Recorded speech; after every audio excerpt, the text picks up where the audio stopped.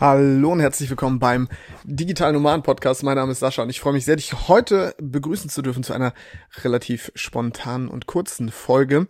Denn ich nehme die Folge aus aktuellem Anlass auf. Denn wenn ich aus dem Fenster schaue, dann haben wir wahrscheinlich knapp 30 Grad, ja, und bestes Wetter. Die Leute sind draußen.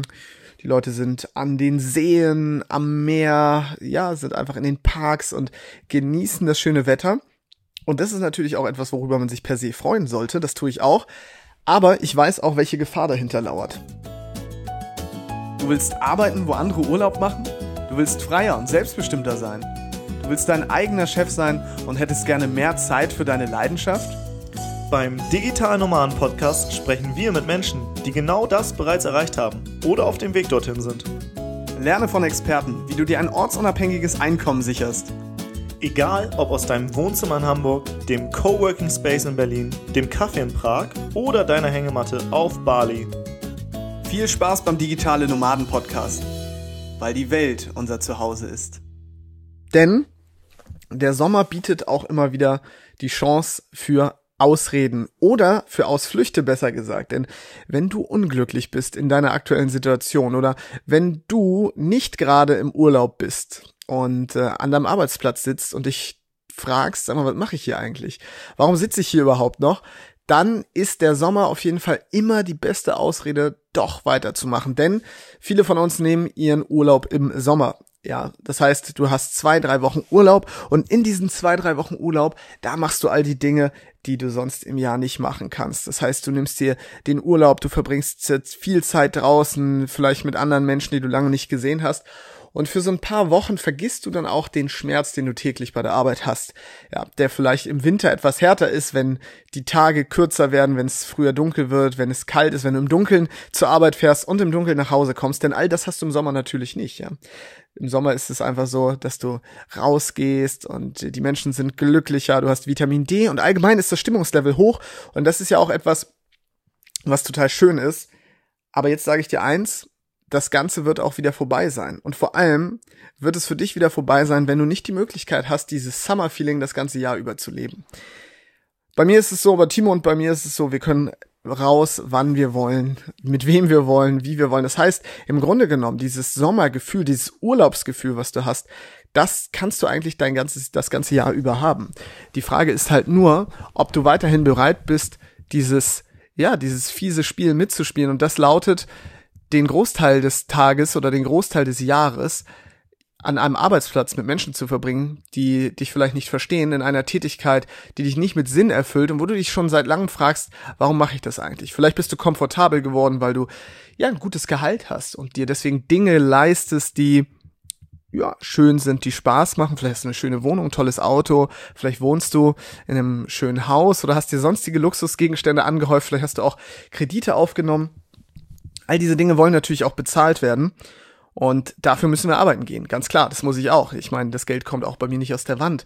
Aber die Frage ist, die Tätigkeit, die du jeden Tag oder der du jeden Tag nachgehst, erfüllt die dich wirklich? Erfüllt die dich mit Freude, mit Leidenschaft und mit Sinn? Oder ist das eigentlich nur dein Brotjob? Also der Beruf, den du ausübst, damit du das Geld auf dem Konto hast, um deinen aktuellen Lebensstil weiter zu finanzieren. Und das ist diese Abwärtsspirale, in der sich viele befinden. Und das ist die Abwärtsspirale, aus der du ja eigentlich raus willst. Wenn du diesen Podcast hörst, dann bist du unglücklich. Wir haben sehr wenige Menschen, die den Podcast hören und sagen, hey, mir geht es wunderbar. Ja, sind wir ganz ehrlich, der digitale Nomaden Podcast wird meistens nicht von digitalen Nomaden gehört. Warum ist das so? Weil die Leute, die digitale Nomaden sind, die brauchen keinen Podcast, wo sie erfahren, wie sie frei und selbstbestimmter leben, denn sie tun das ja bereits. Ja, das heißt, sie hören natürlich uns jetzt nicht zu, weil sie denken, ah, wie kann ich denn jetzt erfahren, wie ich so lebe, wie ich bereits lebe, sondern uns hören Menschen, die sagen, ich bin in meinem Job, ich will da raus, ich habe vielleicht Ideen oder noch keine Idee, ich möchte von überaus arbeiten, ich möchte Freiheit, Selbstbestimmung, ich möchte meinem Chef endlich mal den, den Mittelfinger zeigen, aber ich komme da nicht raus. Und jetzt, gerade zur Sommerzeit, da gehen bei vielen die Hörerzahlen natürlich runter, podcast-technisch, bei vielen laufen die Geschäfte nicht und so weiter. Und woran liegt das? Natürlich liegt es daran, dass die Menschen im Urlaub sind. Die Menschen sind draußen und das ist ja auch okay. Ich sage nicht, dass es nicht okay wäre, Urlaub zu haben. Es macht total Sinn, auch an andere Orte zu gehen und sich zu erholen. Nur die Frage ist, was passiert, wenn du wieder zurückkommst? Wie sieht dein Leben aus, wenn du wieder zurückkommst?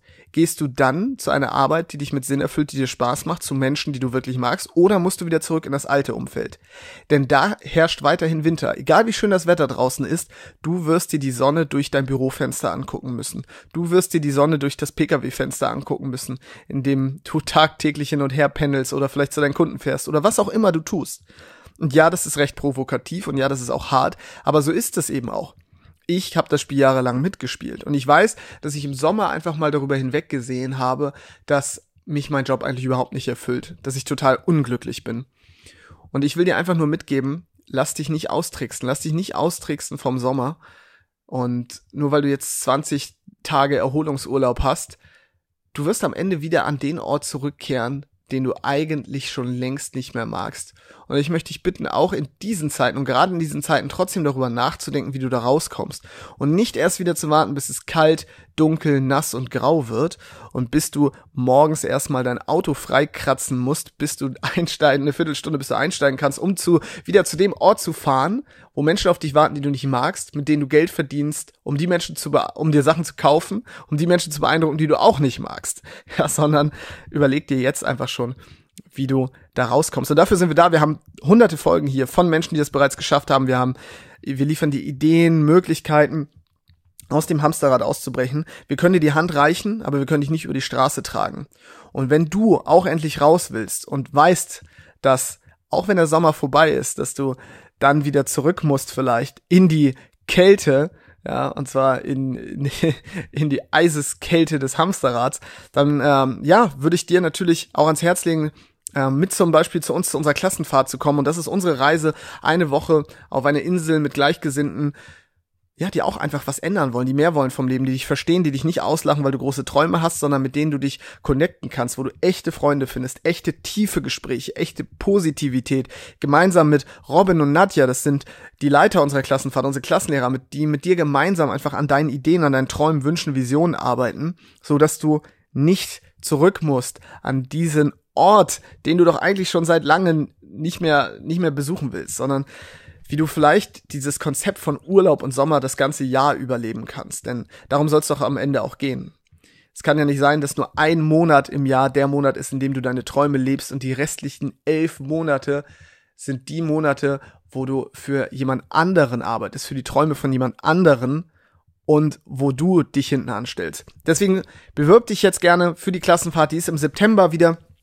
Und als Geschenk machen wir dir noch äh, oder geben wir dir unseren Online-Kurs und zwar der heißt Gleichgesinnte finden. Und da lernst du, wie du solche Menschen ja auch jetzt schon vielleicht findest, denn auch wenn du auf der Klassenfahrt bist und äh, da Menschen dann natürlich nachher kennenlernst, dann kannst du jetzt ja vorher schon davon profitieren, dass wir dir diesen Online-Kurs schenken. Und da zeigen wir dir auch, wie du jetzt in deiner aktuellen Umgebung vielleicht Menschen findest, die dich verstehen. Und dieses Angebot, dass wir den Kurs, der sonst eigentlich 150 Euro kostet, dass wir den dir schenken, nur weil du dich bewirbst, das ist natürlich äh, begrenzt. Deswegen bewirb dich jetzt schnell unter digitalenomadenpodcast.de-klassenfahrt und der Link ist auch in den Show Notes. Und dann sprich einfach mit Robin ganz entspannt drüber, ob die Klassenfahrt für dich Sinn macht. Denn egal, ob du jetzt Anfänger bist, fortgeschritten, ich kann dir sagen, die Klassenfahrt wird dein Leben verändern. Aber Du musst dich davon natürlich auch selbst überzeugen. Du musst schauen, ob das für dich passt. Und auch wir schauen natürlich, ob das passt. Das hängt aber nicht damit zusammen, wie fortgeschritten du bist, sondern es hängt damit zusammen, ob du das richtige Mindset hast. Ob du zu den Menschen gehörst, die wirklich was verändern wollen, die wirklich bereit sind, etwas zu investieren ja, nicht nur finanziell, sondern die auch bereit sind, ihre Komfortzone zu verlassen, um dann das Leben in Freiheit zu leben. Oder ob du weiterhin das Spiel mitspielen möchtest, wo du sagst, naja, elf Monate Schmerz, ein Monat Freiheit und das nennt man dann Urlaub, wo du dann wieder zurückkehrst an einen Ort, wo du Dinge tust, die du eigentlich schon längst nicht mehr tun möchtest. Denk einfach drüber nach. Ich würde mich freuen, wenn du dich bewirbst. Und jetzt sage ich Tschüss und bis zur nächsten Folge. Dein Sascha.